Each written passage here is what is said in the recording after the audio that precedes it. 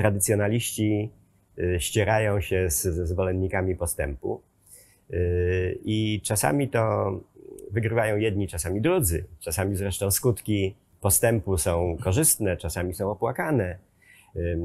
No ja myślę, że akurat jeśli chodzi o, o ubiór mężczyzn, y, no to ta ewolucja poszła w dobrym kierunku. Ja oczywiście patrząc z dzisiejszej perspektywy, to powiedziałbym, że mężczyzna w pończochach no, nie wygląda jednak dobrze.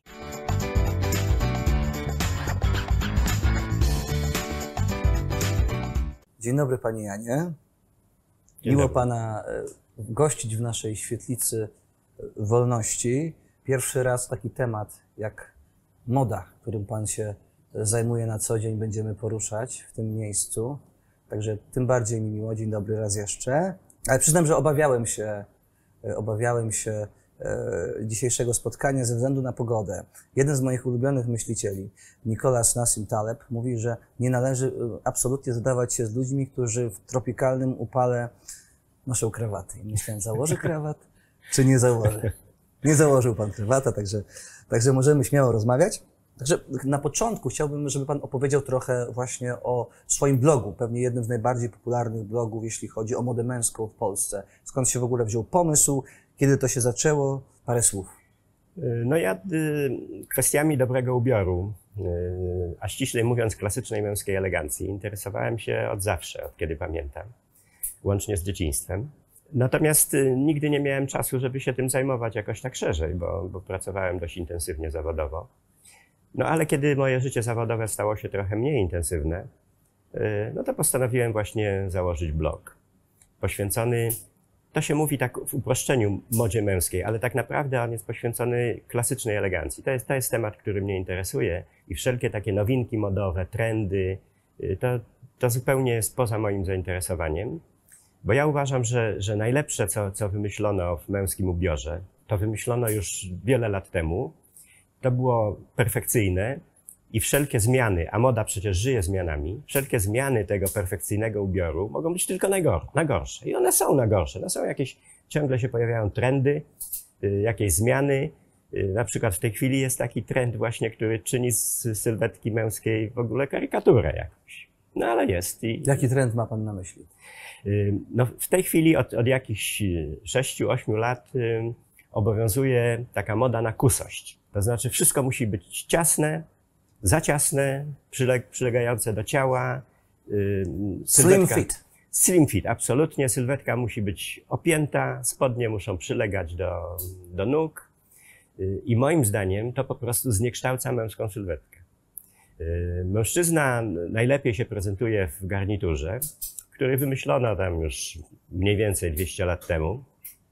On wprawdzie ewoluował, ale ukształtował się taki optymalny zestaw, który no, był właściwie idealny. I później, kiedy- moda zaczęła coś tam mieszać i, i zmieniać, no to, to, to było tylko, tylko na gorzej. Natomiast y, w tym okresie funkcjonowania tej klasycznej męskiej elegancji, to są różne, różne okresy. Raz, y, raz w jednym kierunku, raz w innym kierunku się idzie, jak to, jak to zwykle jest w kwestiach mody. Były takie dwa wyraźnie złe okresy, jeśli chodzi o historię garnituru. Jeden to był w latach 90., kiedy obowiązywały takie stroje workowate. Wszystko było za duże. Ramiona za szerokie, Okropny styl. wszystko szerokie.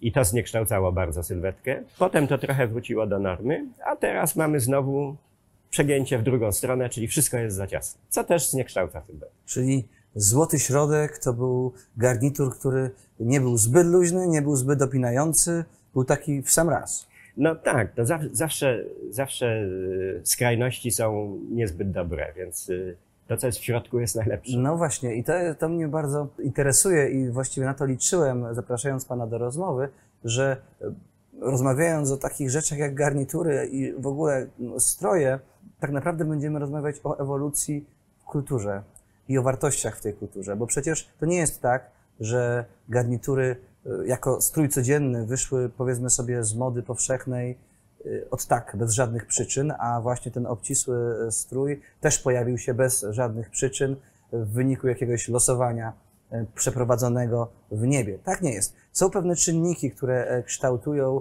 mm, powiedzmy sobie, to, jak się ludzie ubierają. Co Pana zdaniem właśnie leży u podstaw tego, że ta klasyczna moda no, jest raczej przedmiotem e, zainteresowania fascynatów, a nie powszechnego e, właśnie podziwu i, i e, nikt powszechnie za nią nie podąża?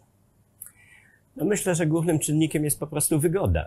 Te klasyczne męskie ubiory były pomyślane jako ubiory, które y, mają przedstawić mężczyznę w jak najkorzystniejszym świetle. Mężczyzna miał wyglądać jak najlepiej. Wygoda nie miała tam zupełnie żadnego znaczenia. Y, I rzeczywiście w garniturze takim, jaki się ukształtował około 100 lat temu, mężczyzna wyglądał rzeczywiście doskonale, no ale nie dało się powiedzieć o tym, że to był strój wygodny.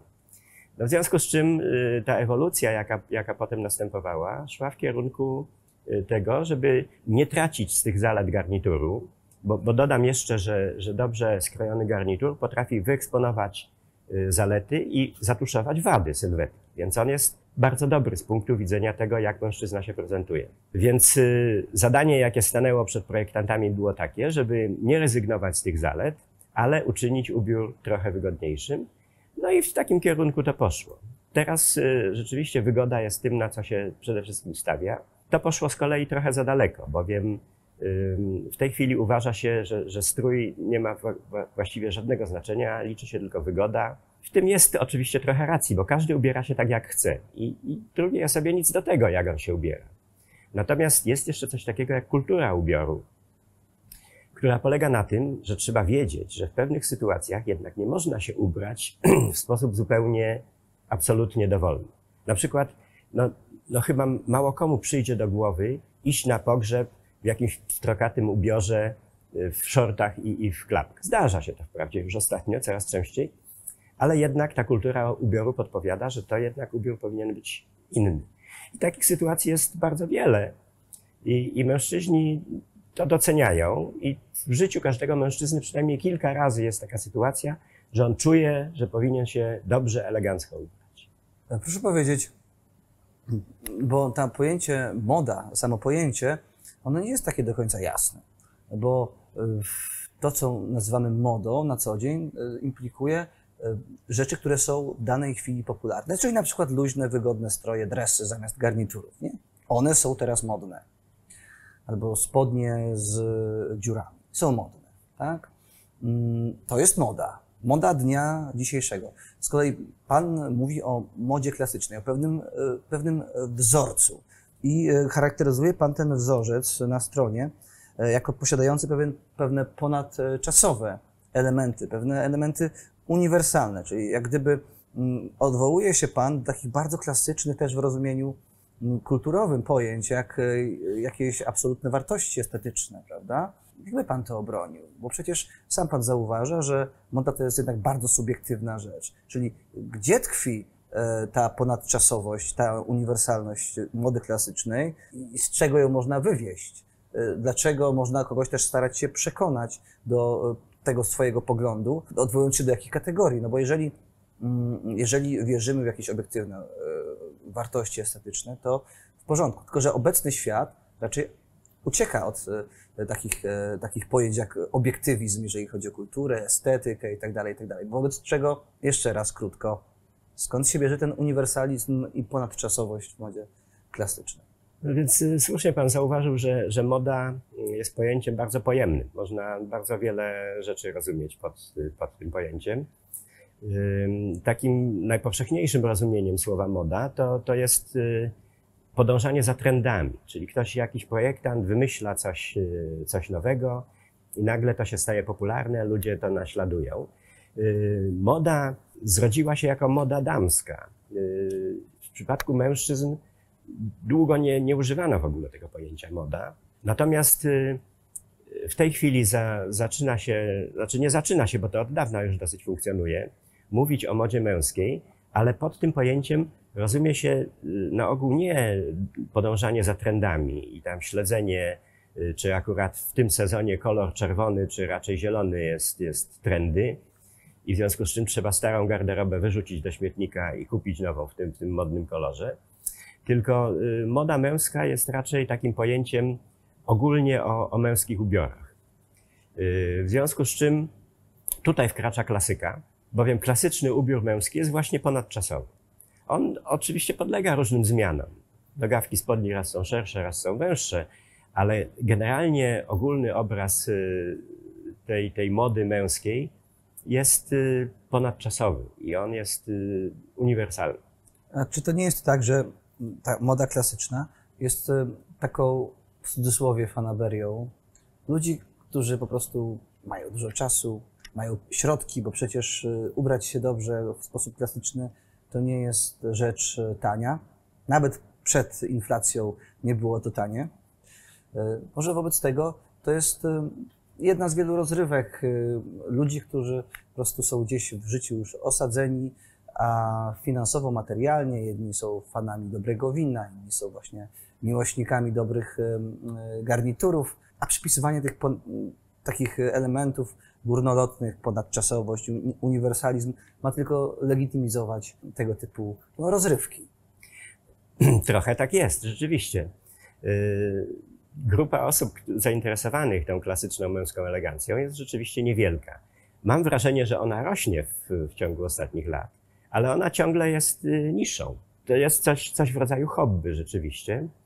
Y, natomiast y, oprócz tego jest coś, co, o czym już wspomniałem, że jednak przychodzą takie momenty w życiu, że, że mężczyzna sam dochodzi do wniosku, albo pod wpływem otoczenia, albo właściwie wskutek własnych przemyśleń, że on powinien się ubrać jakoś specjalnie, elegancko, yy, klasycznie. I, I, od tego na razie nie ma jeszcze ucieczki. Na przykład na ślub yy, na ogół mężczyźni nie, nie wkładają jakichś pstrokatych strojów albo na przykład spódnic, które ostatnio są dość popularne wśród yy, mężczyzn, niektórych. Yy, tylko jednak sięgają po klasyczny garnitur. Takim, takim pierwszym momentem, y, kiedy mężczyzna staje przed takim y, wyborem, y, jak się ubrać, żeby było elegancko i, i stylowo, to, jest, to są studniówki. I to jest niesamowity fenomen, ponieważ no, setki tysięcy młodych mężczyzn, chłopców, szukają nagle informacji, bo jej wcześniej nie mieli, jak to jest ubrać się elegancko. Ja to obserwuję u siebie, bo, bo w moim blogu corocznie publikuję takie wpisy o tym, jak się ubrać na studniówkę, gdzie w sposób niezwykle drobiazgowy i szczegółowy mówię o wszystkich niuansach y, dobrego ubioru. Y, I te wpisy mają ogromnie dużo czytelników. No w takim, y, to na ogół przekracza to 100 tysięcy odsłon, a w takim rekordowym roku, to był bodajże 2017, to ponad 170 tysięcy odsłon miał taki wpis studniówkowy. To biorąc pod uwagę, że w roczniku maturalnym jest około 130 tysięcy chłopców, no to jest to jednak jakieś osiągnięcie. Nawiązując do tego, no bo to jest no w naszym przypadku pewny taki jednorazowy impuls do zainteresowania się modą, ale społeczeństwa czy poszczególne kraje różnią się właśnie tym, jak się ludzie ubierają. Często jadąc do krajów e, zachodnich, niektórych przynajmniej, widzimy taką pewną nonszalancję, zdecydowanie większą niż nawet tutaj w Polsce. Z kolei ktoś przyjeżdżając do nas mówią, tutaj tak kobiety się na przykład elegancko ubierają, nie? albo jadąc e, do, na Ukrainę, czy, czy, czy dawniej jeszcze w czasach, gdy Rosja nie atakowała innych krajów, do Rosji, podobne y, odczucia miały osoby z Zachodu. Społeczeństwa się różnią w podejściu y, do mody, y, a co Pana zdaniem jest przyczyną tych różnic? Czy da się taką przyczynę wyodrębnić? No to, to są zaszłości kulturowe. No, ka każdy naród ma swoją historię, swoją tradycję i w tej tradycji mieści się też tradycja ubiorów.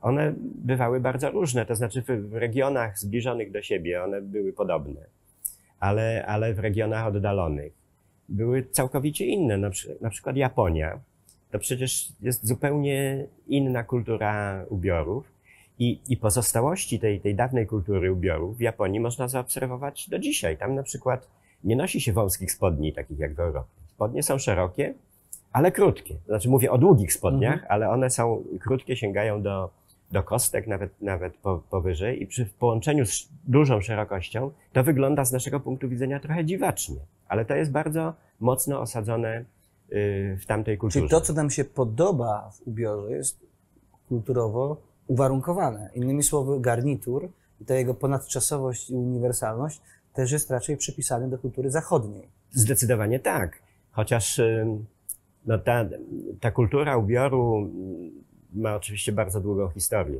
i, i ten, ten ubiór, jaki znamy dzisiaj, szczególnie długie spodnie, co jest absolutnie podstawowym elementem męskiego ubioru, prawda? One są stosunkowo krótki żywot mają. To mniej więcej 200 y, lat temu taki najsłynniejszy dandys wszechczasów y, Beau Bramel wprowadził długie spodnie, bo wcześniej spodnie się kończyły za kolanami, aniżeli były pończochy.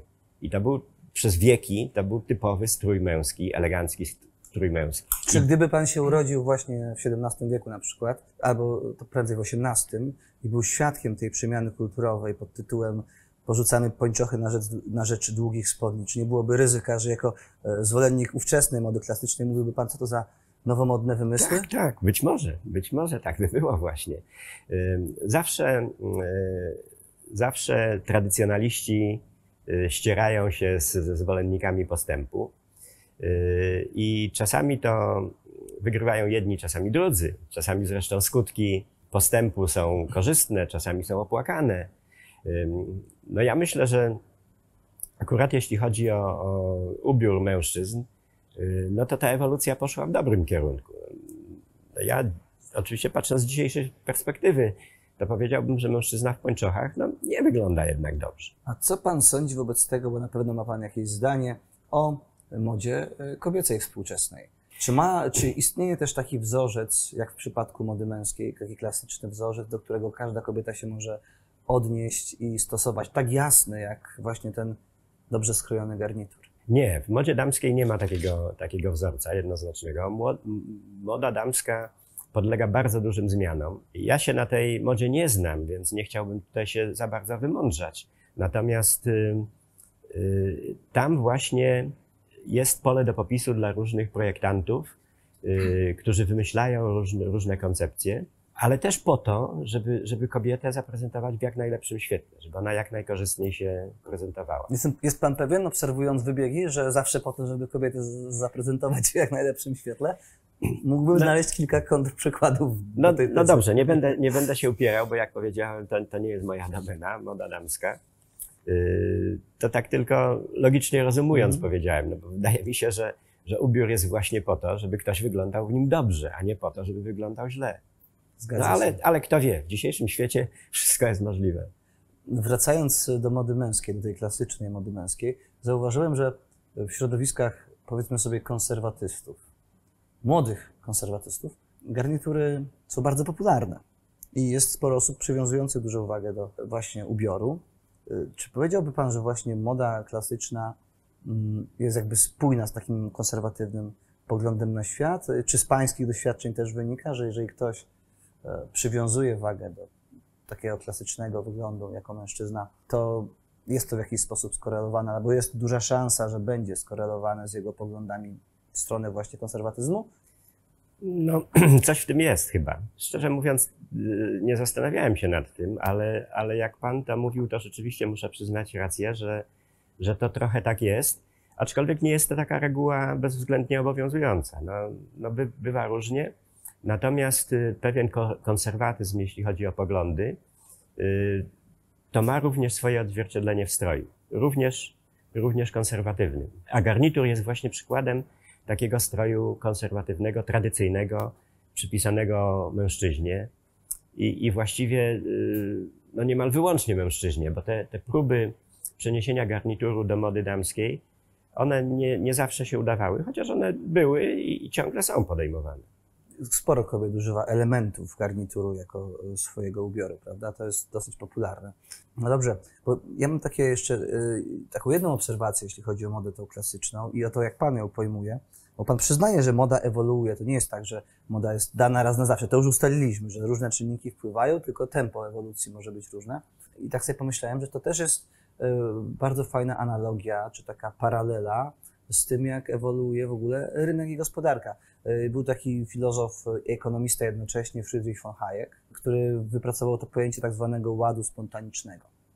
On mówił o tym, że mm, społeczeństwa rozwijają się w taki sposób, że różne mm, pakiety reguł ze sobą konkurują i w procesie tej naturalnej konkurencji reguł wyłaniają się te najbardziej w danym momencie użyteczne, ale to jest bardzo powolny proces. Bardzo rzadko to jest tak, że, że coś się dzieje w sposób e, przełomowy. To są rzeczy wielowątkowe, podlegające niezliczonej ilości czynników, e, prowadzące do świata, w jakim, w jakim żyjemy. No i to, w taki sposób pewnie można by opisać również e, zjawisko pod tytułem moda, to jak się ubieramy.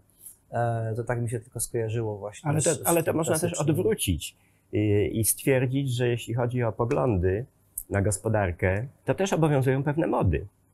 I jak kiedyś obowiązywa, to popularna była moda na, na szkołę e, austriacką, tak teraz to ona jest zupełnie w odwrocie. Jest moda na, na skrajnie lewicowe podejście do gospodarki.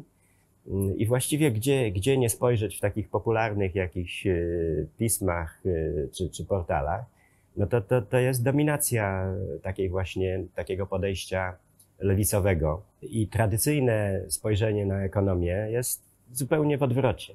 Nawet jest takie, takie określenie y, neoliberał, które brzmi wręcz jako belga w ustach tych, tych y, nowych y, ekonomistów, które y, właśnie pokazuje, że, że te, to liberalne podejście, wolnościowe podejście do gospodarki, to już jest niemodne. No teraz jest modne coś zupełnie innego. Właśnie cieszę się, że Pan podchwycił tę e, tematykę, no bo e, jakby nie było w naszym instytucie, w Warsaw Enterprise Institute, no to jest e, leitmotyw e, działań wszelakich. No właśnie, pan, pańska kariera zawodowa wcześniejsza, jak już ustaliliśmy w naszym krótkim small talku przed rozmową, była bardzo wielowątkowa. E, Był pan aspirującym pracownikiem naukowym, potem był pan właścicielem przedsiębiorstwa produkującego y, gry planszowe i to takie skomplikowane gry planszowe, a science fiction, fantasy. Potem pracował pan w spółkach Skarbu Państwa i w prywatnych. Pan po której stronie z tych mód stoi? Znaczy chyba to już jest jasne, dla, ale ustalmy. Z tych mód ekonomicznych, której by się pan oddał po tych doświadczeniach ja- życiowych Ja, ja myślę, że jeśli, jeśli ktoś przeszedł mm, taką drogę, że, że sam się parał biznesem, a później był menedżerem e, w dużych firmach, no to, to jedynym wyborem to jest właśnie ta, ta klasyczna ekonomia, ta szkoła austriacka, y, bo, no bo jeśli spojrzy się na, na historię gospodarczą świata, no to właśnie ten typ myślenia przyniósł tak ogromny sukces, przyniósł dobrobyt y, całym pokoleniom. Oczywiście y, to trzeba powiedzieć, że to było okupione ciężką pracą. I to, to nie było tak, że, że same idee przyniosły ten dobrobyt. No, musiała być do tego jeszcze praca. Y, Ale jak już ten dobrobyt nastąpił, to nagle się pojawiło wielu takich, którzy twierdzą, y, że zaraz, zaraz, y, ten dobrobyt to się wcale nie bierze z pracy, tylko bierze się z pieniędzy, więc po co w ogóle sobie zawracać głowy wysiłkiem jakimś i pracą, jak można po prostu stworzyć więcej pieniędzy, teraz się mówi modnie wykreować pieniądze i będzie wszystkim dobrze. No, teraz ta teza upada w obliczu inflacji, która sięga już prawie 16%, jak dzisiaj się dowiedzieliśmy, 15,6%, więc y, to chyba jednak nie jest prawda, to co głosi ta szkoła lewicowa, powiedzmy sobie. Y, No, ale właśnie zastanawiam się, czy nie ma tutaj pewnych y, punktów wspólnych pomiędzy a tym, co wpływa, że ludzie wybierają właśnie hiperwygodne ubrania, niekoniecznie klasyczne, zamiast tych właśnie garniturów pięknych, pięknie skrojonych, oraz że ludzie popierają a, takie rozwiązania socjalne na przykład, prawda, takie łatwe, szybkie rozwiązania, bo też być może e, jest tutaj element e, wygody, skoro nie trzeba pracować, a można coś dostać. Dostrzega Pan takie wspólne elementy e, kształtujące zarówno mody ekonomiczne, jak i mody, jakby to powiedzieć, No nie wiem, to, to może byłoby zbyt daleko posunięte, y, ale no, generalnie świat się ciągle zmienia y, i, no i są, są różne poglądy. Y, Raz jedne, raz drugie zdobywają większą popularność. Natomiast ja bym raczej zwrócił uwagę na, na taki, y, taką sytuację, że kiedyś y, bo trzeba zacząć od tego, że, że każda populacja składa się z ludzi mądrych i jakaś część jest ludzi, którzy się nie interesują światem, nie czytają, nie mają żadnej wiedzy i, i oni też jakoś przez to życie przechodzą.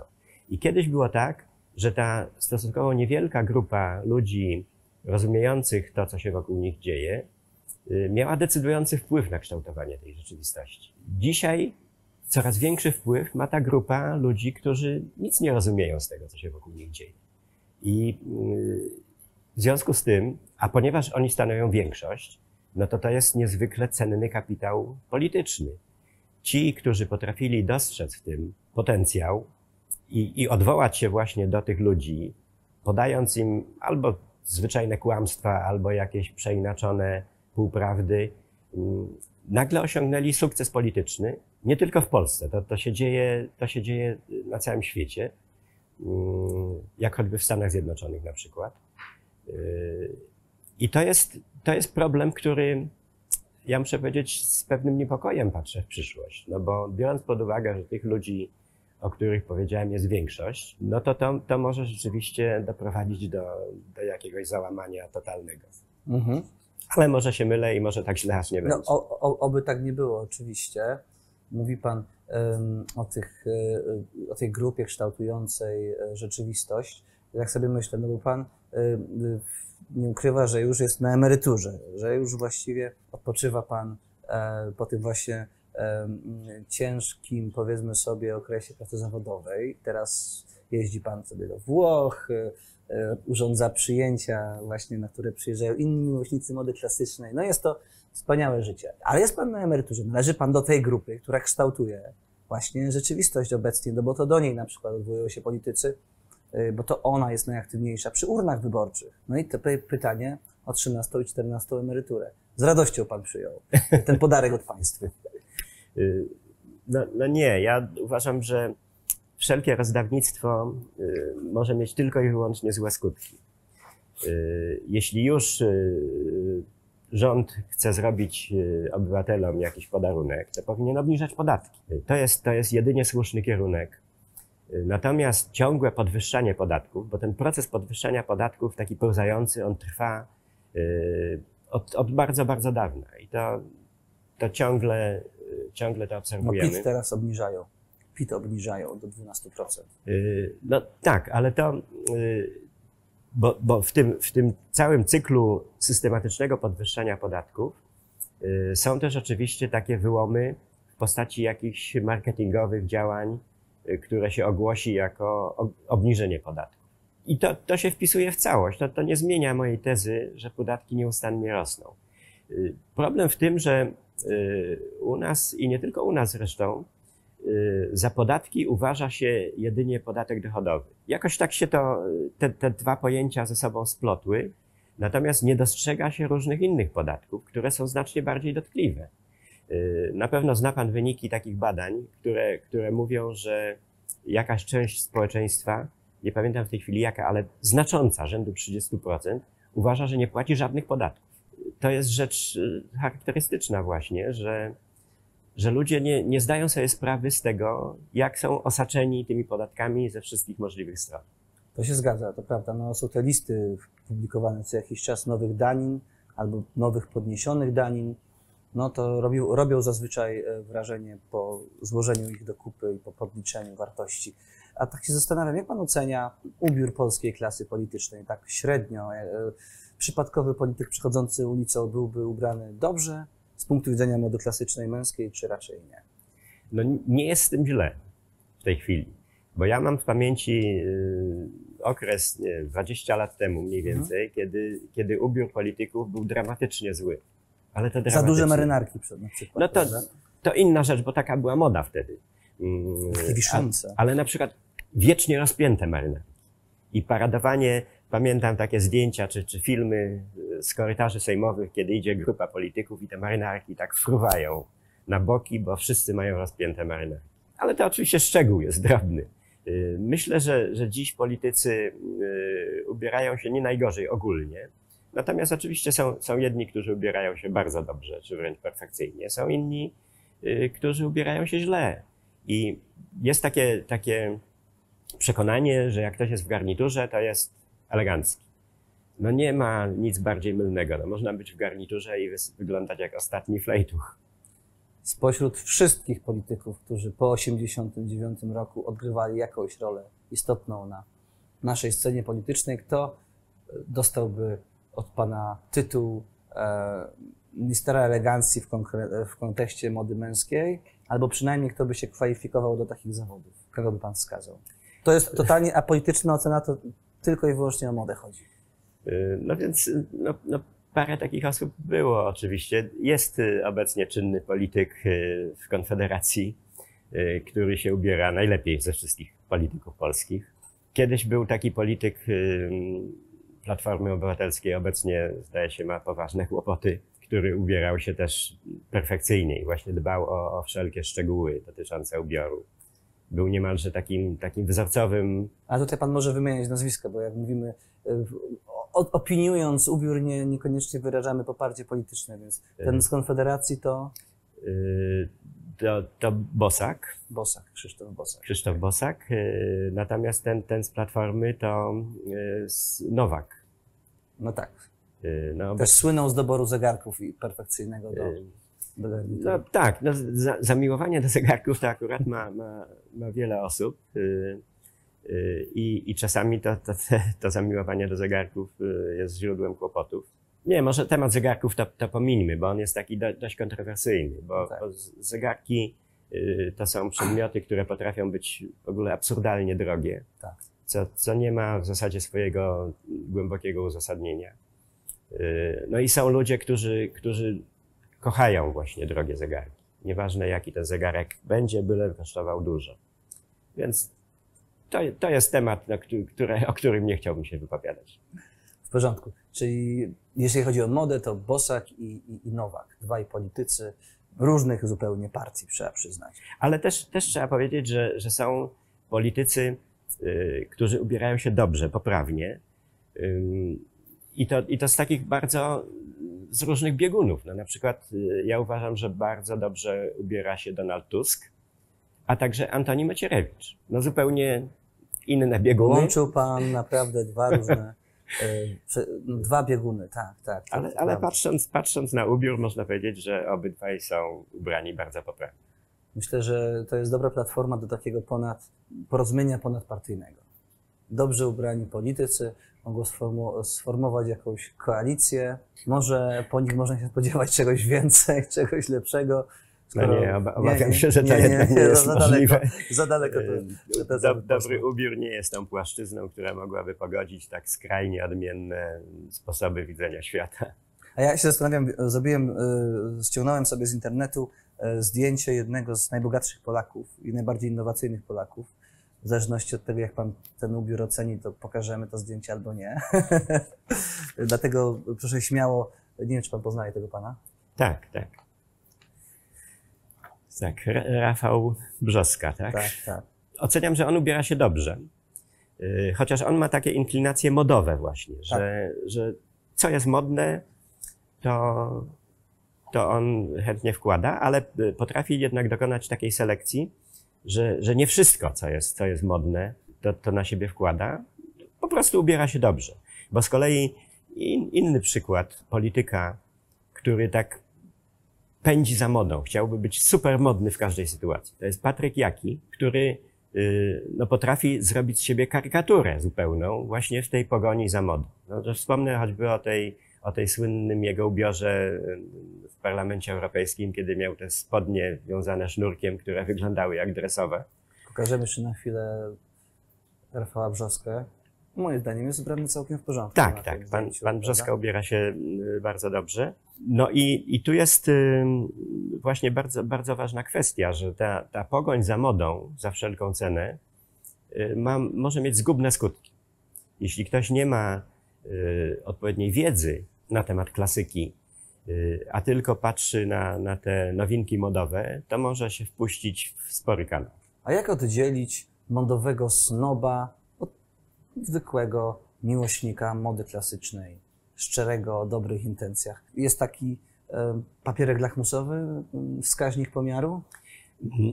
No tak y, ocenić na pierwszy rzut oka to się tego nie da, ale już po krótkiej rozmowie to myślę, że by się dało, ponieważ miłośnik klasyki i ma przede wszystkim wiedzę. On stara się wiedzieć coś na, na temat y, ubiorów, Natomiast y, miłośnik takich nowinek modowych, on nie dba zupełnie o, o żadną wiedzę.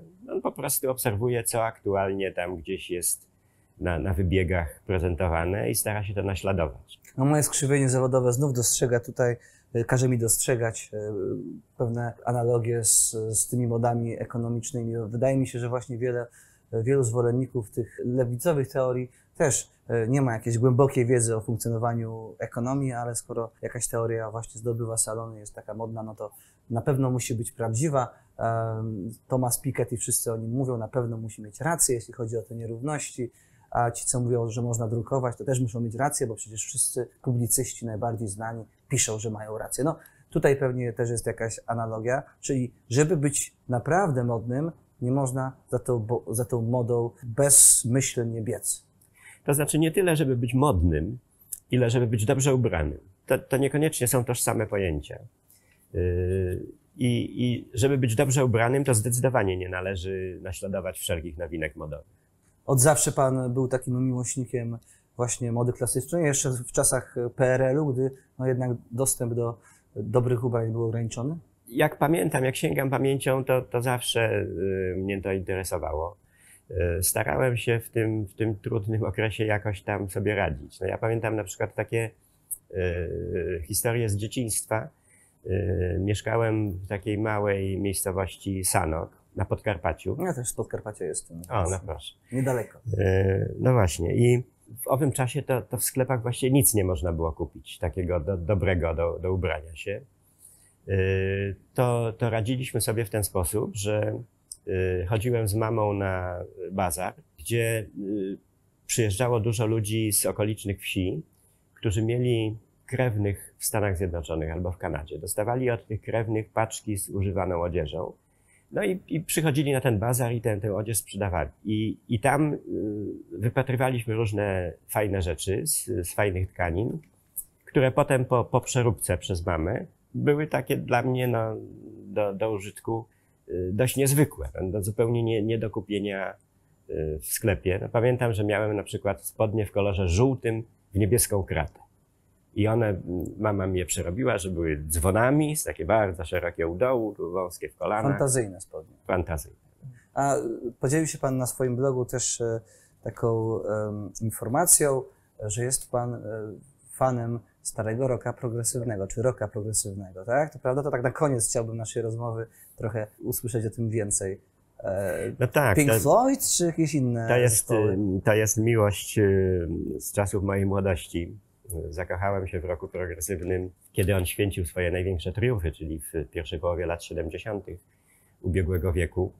I owszem, te, te zespoły słynne, jak, jak Pink Floyd, który pan wymienił, chociaż Pink Floyd to nie jest taki typowy rock progresywny, to oni się raczej wywodzą z psychodeli. No ale, ale niewątpliwie to, to była tego typu muzyka. King Crimson, Emerson, Lake and Palmer, Yes i wiele innych y, grup, to owszem, tak, ale ja przede wszystkim penetrowałem ten, ten świat rocka progresywnego tak bardziej dogłębnie i wyszukiwałem takie zespoły, y, które nie były na topie, nie były w szczycie, nie, nie sprzedawały milionów płyt. I na przykład takim moim, moim najbardziej ukochanym zespołem wszechczasów to był zespół Karawan. On, on był w, w miarę popularny, więc y, to nie jest tak, że to był całkiem nieznany zespół, ale no, no Karawan to, to była moja wielka miłość.